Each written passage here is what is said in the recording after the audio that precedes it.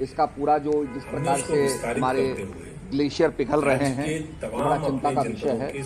और मैं जब पार्लियामेंट में था तो मैंने 377 के तहत मैंने ये मांग की थी कि जो प्लूटोनियम पैक रखा गया था चीन की गतिविधियों को देखने के लिए और उसको उसका सर्वेक्षण करने के लिए तो वो प्लूटोनियम पैक गायब हो गया था। और इसके बारे में भी निश्चित रूप में जानकारी मिलनी चाहिए पता लगना चाहिए क्योंकि आने वाले भविष्य के अंदर जो आज जिस प्रकार से ये हादसा हुआ है और ग्लेशियर निकले हैं और तूफ़ान आया है।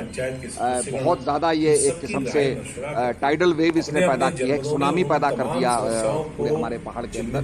तो बड़ा चिंता का विषय तो मैं समझता हूँ सारे पक्षों की जाँच होनी चाहिए और हम लोग एक विभाग भी अपने सिंचाई विभाग में बनाएँगे ताकि हम लोग सैटेलाइट के ज़रिए सारे ग्लेशियरों को स्टडी कर सकें। क्योंकि जो हादसे होते हैं उसमें या तो जैसे चोराबाड़ी ग्लेशियर फटा था या कोई तालाब फटेगा और अब जो ये तालाब बना है उसमें से भी पानी निकलने लग गया है तो चिंता का विषय नहीं है। आने वाले समय में हमें हिमालय की और ग्लेशियर्स की क्लोज मॉनिटरिंग करनी होगी ताकि कोई भी भविष्य में ऐसी अगर आपदा की पुनर्वृत्ति होती है तो इससे हम सजग रहें।